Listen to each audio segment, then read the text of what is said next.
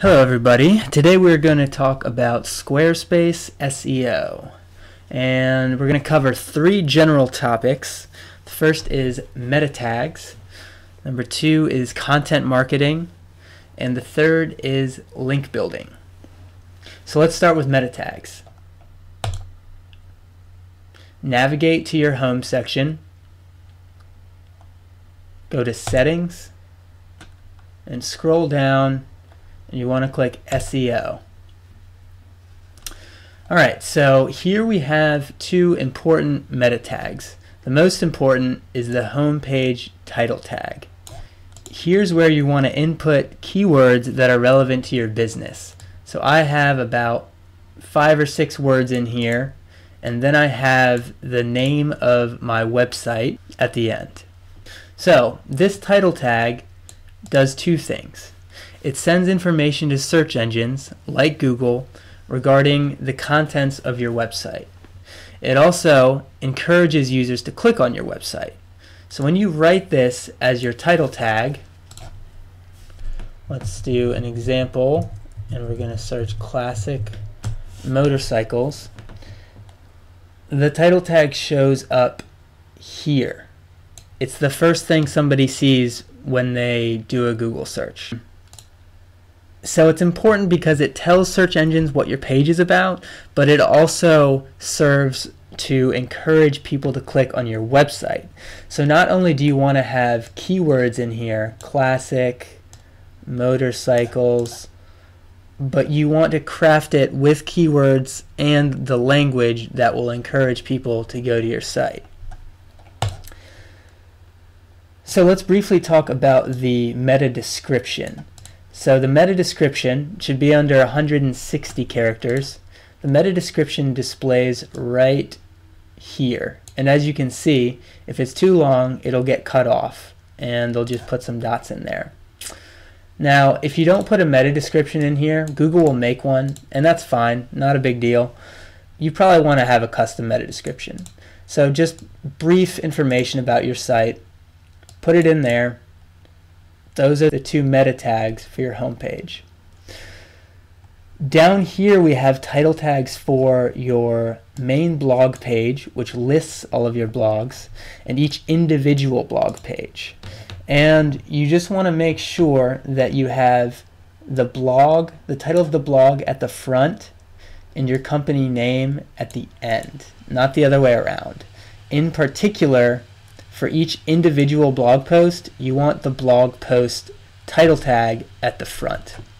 Otherwise, when you display here, your company name will display first.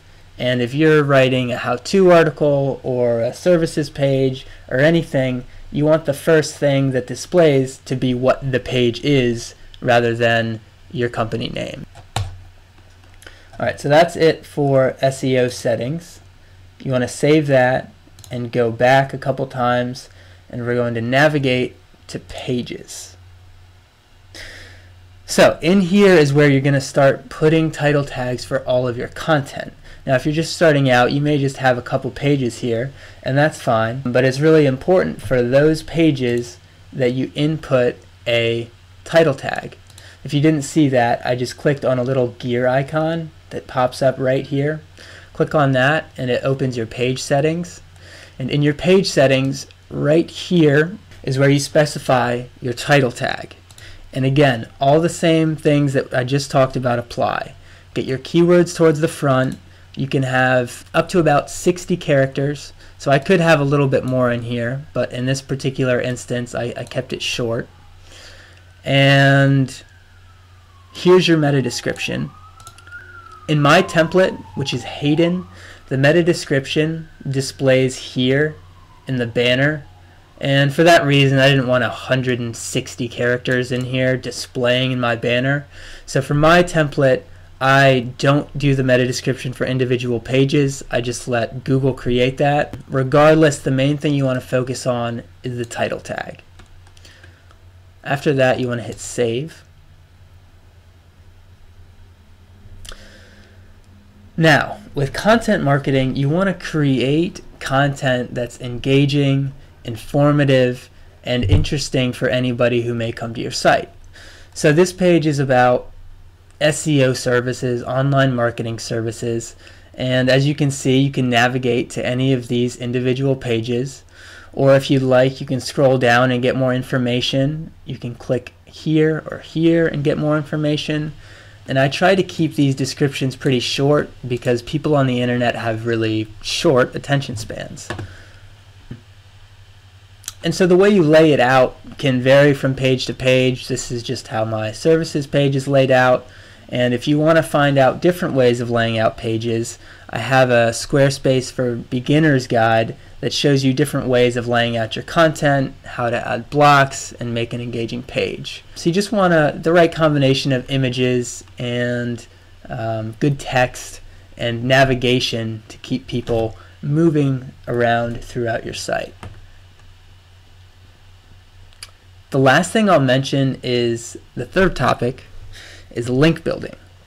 You need links to your site to get traffic.